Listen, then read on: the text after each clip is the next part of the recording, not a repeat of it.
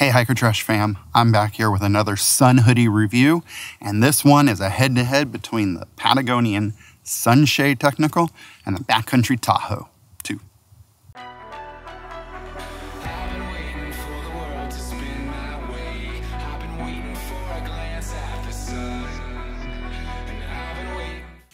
So as always, I'm not sponsored by either of these companies. The links in the bottom are not affiliated links. I get nothing if you click them there. They're just there for your convenience. I want to keep this review as the same as the other review up here, where we reviewed the Baleaf, the Patagonian uh, Cool, and the Outdoor Research Echo 2.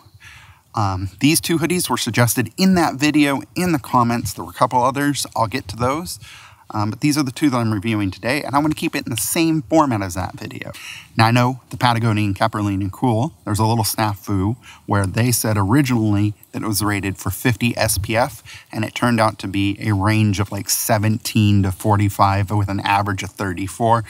Patagonian, as a great company, did offer a recall. They offered to refund money for everybody that bought one. I kept mine.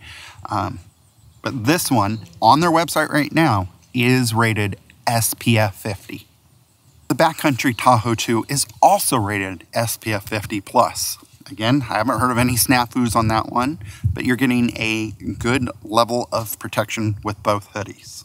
The thumb holes of the Patagonian Sunshade Technical are pretty decent. They're not as deep as the Baleaf, um, but they do have better coverage than the Outdoor Research Echo hoodie.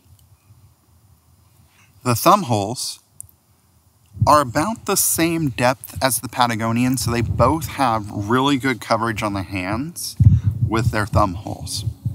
Material-wise, the Patagonian Sunshade Technical is 100% polyester, with 68% of that polyester being recycled and all of it being through fair trade polyester. I don't know what that means, but it sounds good to me. The Backcountry Tahoe 2 is 88% polyester and 12% spandex, which means it's not going to be as moisture wicking as the Patagonian Sunshade Technical.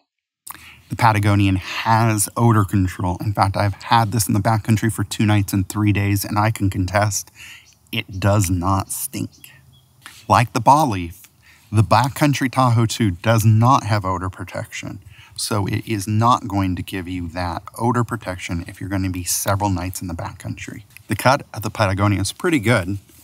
With a hat, I can put the, the hood up and have it not come off. But if you need a little bit more, there's a button right here that will allow you to tighten the hoodie up. The Patagonian also has a little pocket right here. Now you can't put much in it.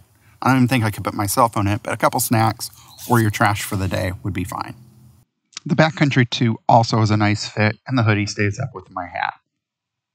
You can get the Patagonian in three colors this gray color, a blue color, and a camouflage color.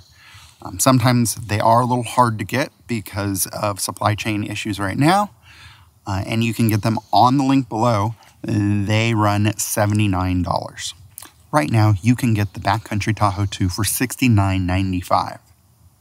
Both of these are great hoodies, and I think if you got either one of them, you'd be happy with them. The Patagonian for $10 more, though, I think is a better value. Its material is 100% polyester, so it's going to wick moisture better, and it's got odor control. But either hoodie is going to make you happy in the backcountry. Why do I like the Patagonian Sunshade Technical? I like it, one, because it's 100% polyester, 68% of that coming from recycled materials. All free trade. I don't know what that means, as I said, but it has to mean something good. The front pocket is okay. Odor control is definitely a plus if you're going to be in the backcountry for a couple nights.